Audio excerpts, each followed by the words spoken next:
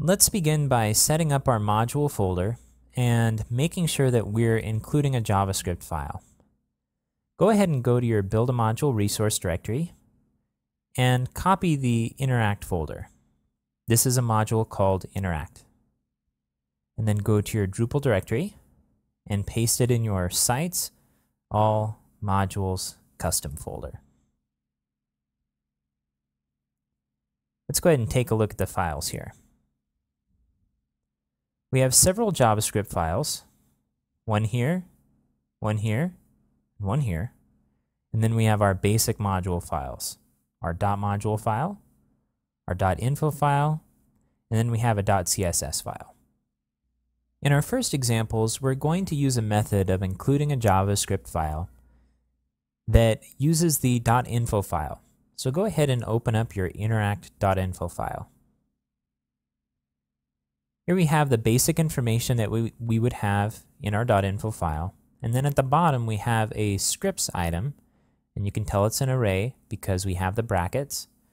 And we're adding interact.js. What this will do is add this script to every page on our Drupal site. So if we want to include our script conditionally based on being on certain pages, we would have to use a different method, and we'll cover that later. But for now, this is good enough for us to begin using JavaScript examples. I'm going to jump back to the directory here. If we open up the .module file, we'll see that it's completely blank. There's nothing in it. We don't need anything in it just yet. I'm going to jump back to the directory. And let's go ahead and open up our interact.js file. Right now it's blank, but let's go ahead and add some code to it. Jump back to your directory and go ahead and open up the steps folder and open up the first step, which is for interact.js, and it's called simple jQuery selector. Go ahead and copy this code and paste it into your interact.js file and save it. Okay, so once we've installed our module, it will include this file, interact.js, and it will execute this code on every page load. And what we're going to do is grab some text from the heading tag, and we'll use an alert statement in order to display a JavaScript alert on the page. So this is just plain JavaScript here, but this line includes some jQuery. We're establishing a variable called text, and we're giving it a value of, and then we're using an object called jQuery, and we're passing it one parameter, which is h1. Now, this is the jQuery object that is the beginning of virtually any statement that you make inside of code, inside of JavaScript files in Drupal. This is because jQuery is so useful that we'll typically grab any code that we need to adjust using the jQuery method. And then we're using a method called text. And notice that we're connecting text with this first statement by a dot. Now what dot does is it takes that whatever it's been returned from this first part and it runs this next part on it. So jQuery passing h1 gets ret it returns something and then text runs on it. When we're working with jQuery, almost every time a jQuery object is returned from a jQuery call. So this allows us to string multiple statements together that are acting with the jQuery object simply by using the dot syntax. So we could add another dot and another statement here, another dot and another statement. It just so happens that the text method returns a simple string instead of a jQuery object, so we wouldn't be able to add on additional commands to the end of this.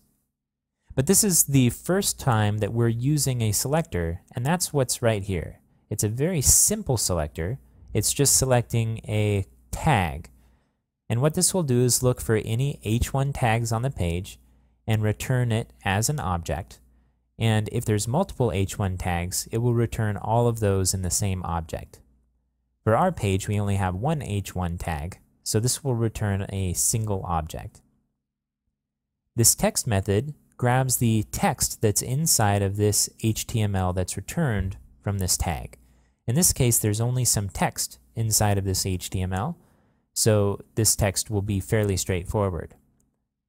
If this h1 tag include, included HTML as well, all that HTML would get stripped out, and text would simply return the text that's inside of that HTML.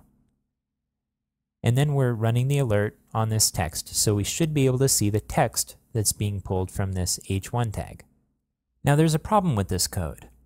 By default, JavaScript files will be included in the header of the HTML file, which means that when this JavaScript runs, none of the page content has actually been loaded yet. So when we go to try to grab the content that's in the h1 tag, we're not going to find anything there because that content doesn't yet exist. So we could solve this by a number of methods, and we'll cover that in the next example. Let's go ahead and make sure that this is saved, and then let's install our example and see what happens when our code runs. I'm on the modules page, which is at admin slash modules, and I'm going to scroll down to the build a module section.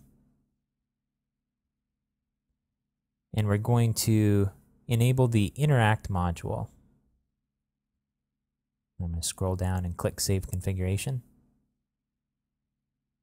Okay, so we see our alert here. I'm going to go ahead and click OK. And it was blank. That means that the content that we were looking for in the heading tag didn't exist. So let's go ahead and use another jQuery utility in order to make sure that our code runs only after all of the code has been loaded on the page.